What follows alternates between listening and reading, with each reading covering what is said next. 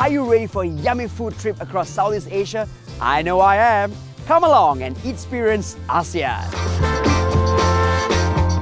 So on this episode, we are going to explore the exotic foods of Southeast Asia. I must admit, I'm feeling quite excited about this, but a little bit of dread at the thought of this.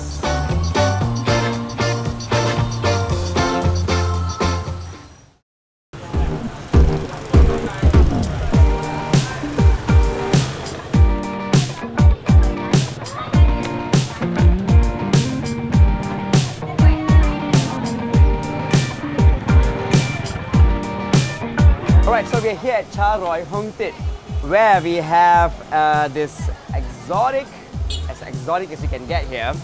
These are actually river worms.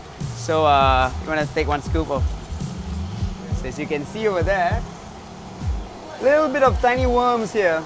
Now these worms are in uh, coastal areas in the autumn, can be easily found. Um, and then you fry it in that batter so with omelette and there is uh, ground pork and tangerine slices and uh, onions as well. All right, so this is cha ruoi and I'm gonna eat it.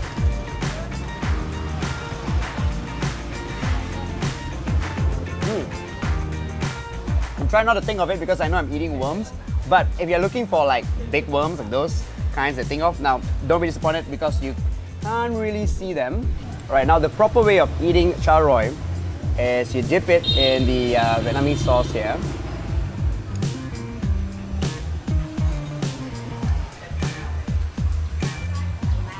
The uh, cha ruoi itself, it's a bit greasy, it's fried, it's oily, but you know, it's great for an afternoon snack.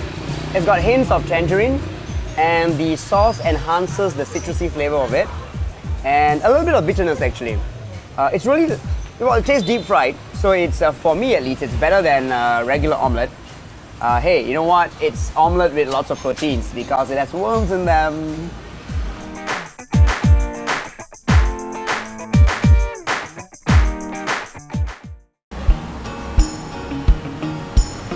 Right now we are in Jakarta and this is Beautika. It used to be a salon that serves uh, Manado snacks and it's now a restaurant that serves Manado cuisine. This is one of three outlets and it is the first. It's been around since 1997. And uh, any guesses what we're having today? Bats. I bet you didn't expect that, didn't you? This is paniki. To prepare it, the hair from the bat is removed by burning it off. And the meat is then cooked in a lot of spices. And I'm gonna take a bite of this. Okay,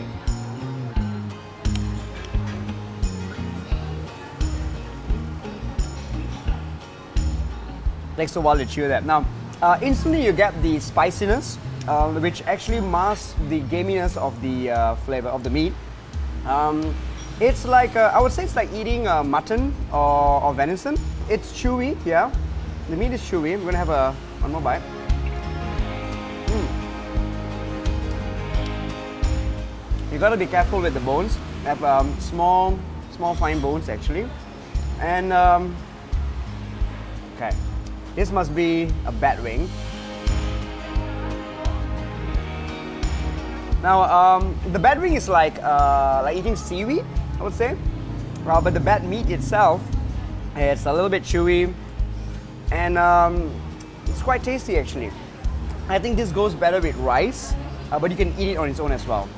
What's good about the way this dish is cooked is that it makes exotic food a little less daunting uh, to anyone who wants to try it.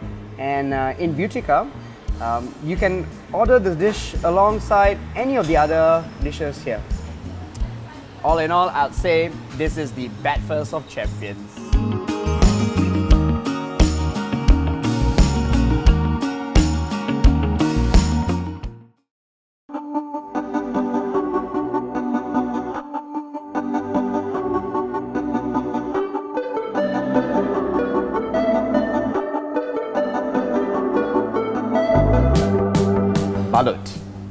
Fertilized duck embryo. And this one has been incubated for 14 days, then boiled in the shell, and then balut in a tempura batter, and then fried. And the one we have here sits on a base of um, salted egg aioli with a honey spice vinegar sauce. Now, fun fact, this resto bar is actually called empacho, which actually means pain from indigestion.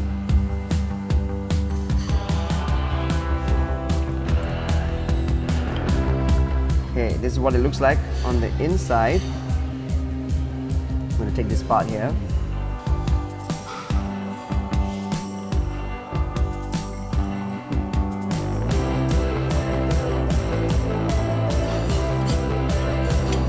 Well, it actually tastes like egg yolk. Quite squishy. Some people say it's a good hangover food or an aphrodisiac. But I have to warn you though, usually you find these on the streets and doesn't really look like this.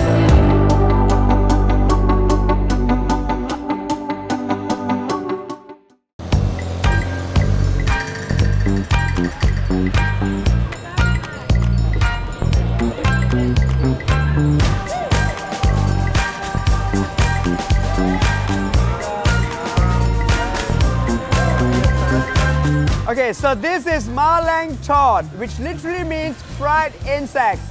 And this is Exotic Foods Bangkok version. Oh no, I've got to admit, I've never had any of this or close to this in my entire life. And I'm gonna have to try it now. We will begin with crickets. Here goes. I'm trying not to think about it but it's actually crispy and really tasty.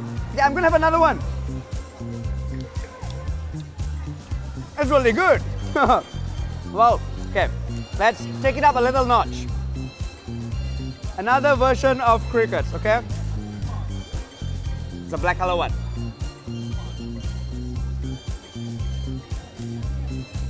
There's no smell, there's no uh, yucky feel. It's, uh, it's very crispy. It's a little bit juicy, yeah?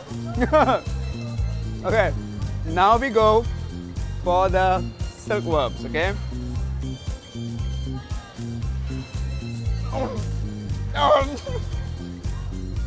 okay, this really crumbles in your mouth.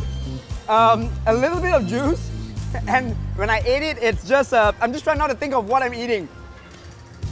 Okay. Now, for the ultimate level up. This is scorpion, okay, see?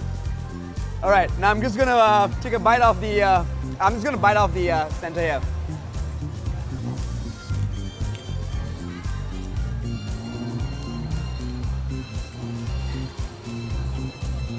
Mm. Well, the shell is crispy, mm, but it's got a bit of a, mm, black, a darkened taste, like a blackened, bitter taste to it. Not as good as the crickets, I've got to say. As much as the scorpions are highly rated, this is still my favorite, the crickets.